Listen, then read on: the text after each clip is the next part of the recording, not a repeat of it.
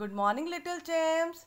Today I welcome you with a day full of happiness. Okay, students, today we are going to do an activity of common and proper nouns.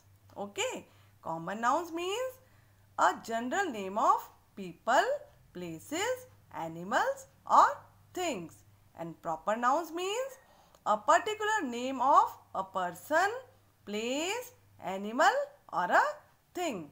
Okay, let's do an activity. See, this is a clipping from a newspaper. Here I have used two colors, blue color and red color. Blue color I have used to underline common nouns and red color I have used to underline proper nouns. Okay, see here first word nurse, driver and bus all these are common nouns. Why? Because here first nurse देखिए आप जो मैंने blue colour से underline की है। Here, nurse is a general name of a person यहाँ पे हम किसी भी एक नर्स की बात कर रहे हैं। We are not talking about any particular nurse यहाँ पर हम किसी पर्टिकुलर नर्स की बात नहीं कर रहे हैं। So here nurse is a common noun again driver driver is here a name of a person so here we are talking about any driver हम किसी भी एक ड्राइवर की बात कर रहे हैं। We are not talking about any particular driver हमने यहाँ किसी पर्टिकुलर ड्राइवर का नेम तो मेंशन नहीं किया है ना?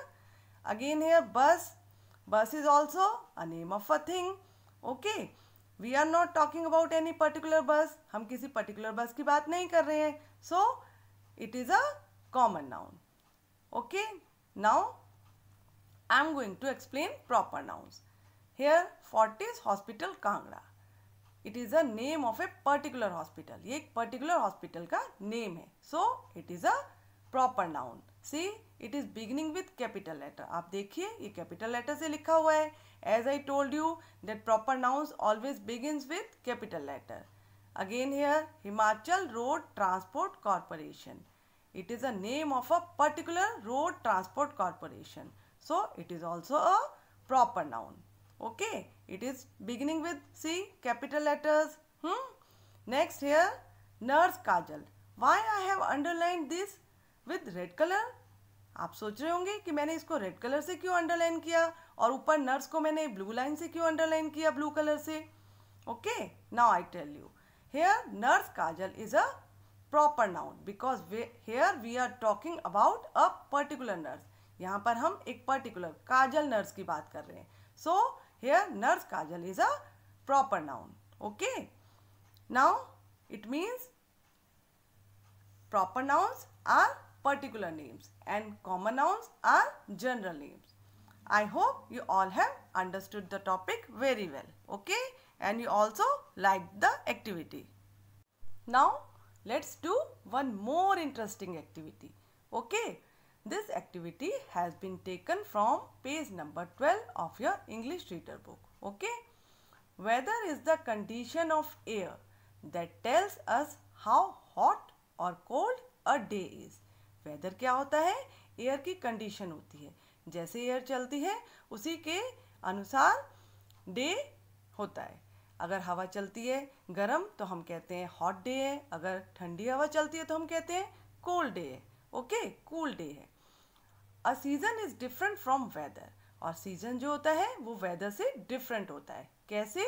It is how the general weather of a region is for a period of few months जो वेदर होता है, वो शॉर्ट टाइम के लिए होता है।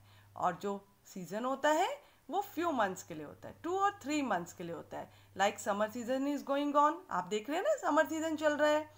लुक आउटसाइड आइए बाहर देखें how is the weather weather कैसे होता है? It keeps on changing day to day and time to time. Weather हमेशा टाइम टू टाइम और day to time day to day changes होता रहता है। It may be rainy sunny और windy कभी बारिश होती है, आप देखते हैं। कभी धूप निकलती है तो हम बोलते हैं सनी है। कभी बहुत तेज हवा चलती है तो हम बोलते हैं विंडी है। बोलते हैं ना? ऐसे observe the weather of your area for a week now what you have to do आपने क्या करना है?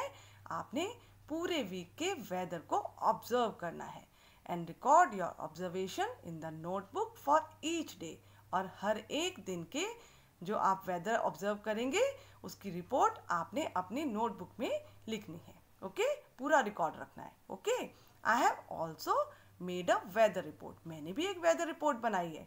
Let's see see I have made this weather report okay I have written here weather report. Days of the week. Okay. Monday, Tuesday, Wednesday, Thursday, Friday, Saturday and Sunday. Okay. I have written here rainy day. Here sunny day. Here windy day. Okay. For example, when I observed the weather for a week, that day Monday was rainy day उस दिन बहुत बारिश हुई थी। So I have written here rainy day और Tuesday को बहुत धूप निकली थी। So I have written here sunny day and on Wednesday again sunny day बहुत धूप निकली थी। ऑन थर्सडे बहुत हवा चली थी। So I have written here windy day on Friday बहुत बारिश हुई थी। So I have written here rainy day और सैटरडे को बहुत ज़्यादा धूप निकली थी। So I have written here sunny day and on Sunday how was the weather Sunday को वेदर कैसा था उस दिन? I tell you again sunny day बहुत धूप निकली थी। So I have written here sunny day okay so this is an example you will also make a weather report like this. Okay? Now, it's time to increase your word power, okay Our first word is deer. D double E R. Deer. Deer means हिरन, एक animal का name है next word is dirty D I R T Y dirty dirty means गंदा next word is down D O W N down means नीचे Next word is dust. D-U-S-T. Dust. Dust means dhul. Okay. Students, you will learn the spellings of these words and write them in your English notebook. Okay.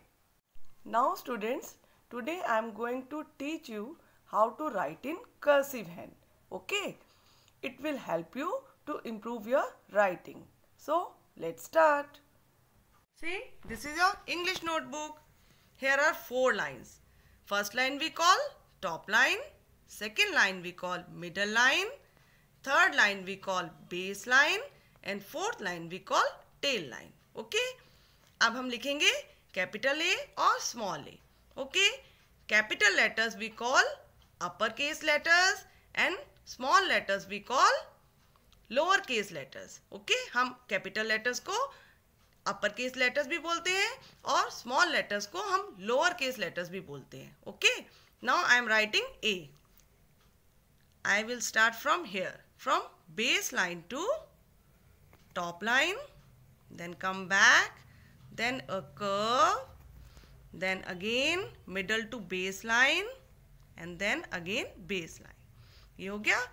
Now B from top to base line then turn again turn again turn then small b अब कैसे करेंगे like this okay ये अब C I'll start from here from top to base again middle to base अब D from top to base turn again a turn अब small D कैसे?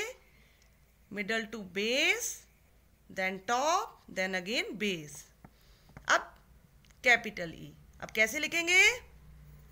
From like this again a curve then middle to base okay now you will do the practice of this these letters in your English notebook. Okay. Till then, goodbye. Take care.